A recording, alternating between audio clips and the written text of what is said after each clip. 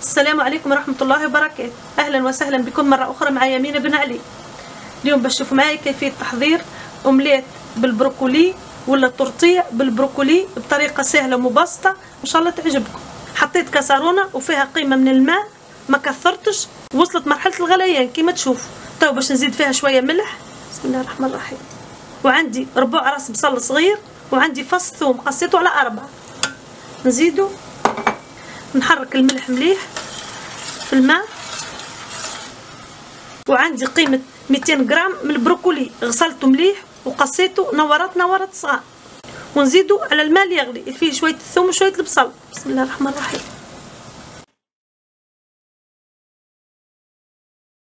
نحركوه من الأول شوي كيف هكاكا ونخليه مدة عشرة دقائق على نار متوسطة من غير ما نغطوا الكسرونه البروكولي متاعنا حضر وفات عليه العشرة دقائق وهو يطيب. تو باش نهز نصفيه ونخليه يستقطر مليح. بعد لا صفيت البروكولي وخليته يستقطر ويبرد تو باش نحضر معاكم البيض اللي باش نحطوه في التورتية ولا في الأومليت.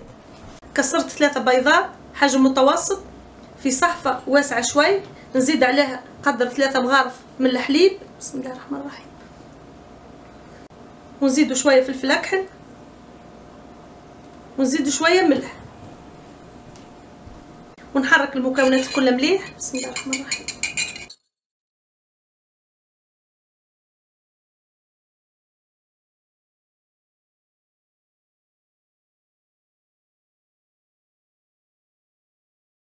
حركت المكونات مليح كما تشوفوا. تو باش نتركوا جانبا ونتعدوا للمرحله الأخرى إن شاء الله. حطيت مقلة على النار وخليتها تسخن. تو باش نزيد شوية زيت نباتي. بسم الله الرحمن الرحيم. قيمة ثلاث مغارف ولا ثلاث ملاعق. وعندي ملعقة أكل بصل مفروم وفص كبير من الثوم. بسم الله الرحمن الرحيم. نحركهم مليح.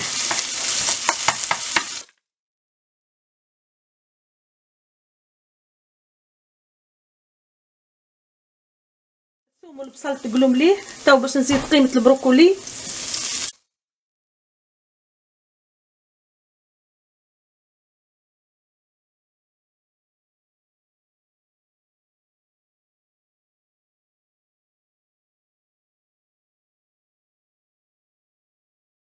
نخليهم يتقلوا مليح وبشوي نحركهم.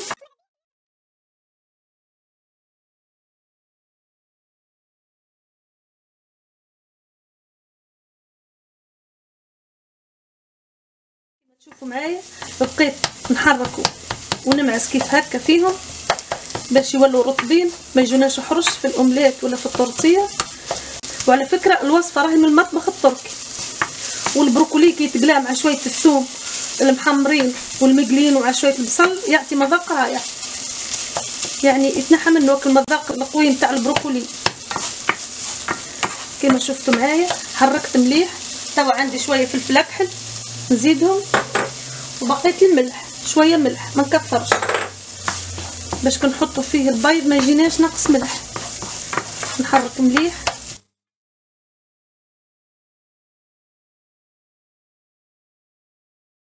لاحظتوا معايا بدلت المقله المقله الأخرى نلقاها أكبر شوي وليت عملتها في مقله ناقصة شوي. على خاطر البروكولي القيمة نتاعو ماشي ياسر اليوم عملت قيمة صغيرة. ولهذا كي يبدأ المعون كبير والخضرة تبدأ شوي ولا البروكولي يبدأ شوي ما يجيناش المنظر مزيان. بعد كي نطيبوه تجينا ضعيفة. توا هاني سويت البروكولي في المقله جديدة والبروكولي تقلى مليح. خذا المذاق نتاع الثوم والبصل وتوا عندي الخليط اللي حضرته معاكم اللي فيه البيض وفيه شوية الحليب وفلفل اكحل وشوية ملح. نعاود نخلطه مليح ونصب بسم الله الرحمن الرحيم. بسم الله. نوزعه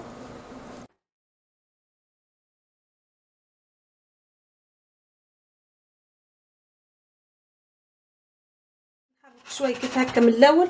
وعندي شوية جبن مفروم. نزيد نحط فوق البيض. كيف هكا. بسم الله.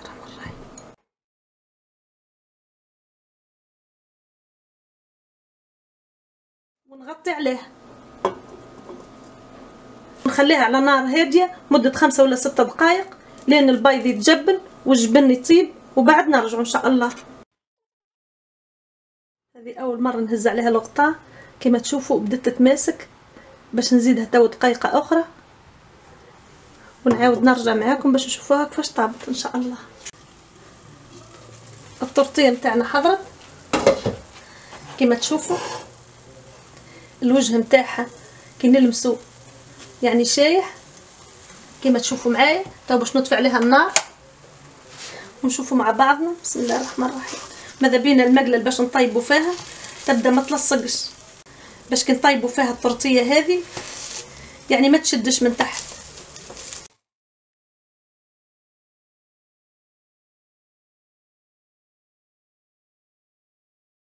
كما تشوفوا معايا هذه هي الطرطيه نتاعنا.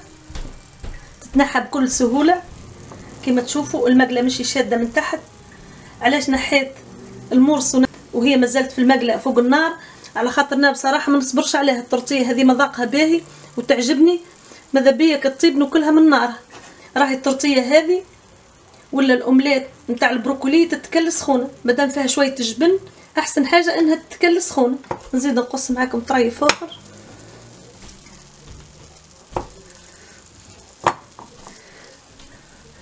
مقاديرها سهلة والمذاق نتاعها يجي من أبن ما يكون. إن شاء الله تجربوها وتعجبكم. هذه الطرطيه نتاعنا. اليوم عندي زوج صغيرات قصيت لهم مرسوات صغار وهذوما البناويت الكبار قصيت لهم طروف كبار. هذه الطرطيه نتاعنا. إن شاء الله تعجبكم وتنال رضاكم. إلى اللقاء في وصفة قادمة عن قريب. دمتم في أمان الله وحفظه. إلى اللقاء.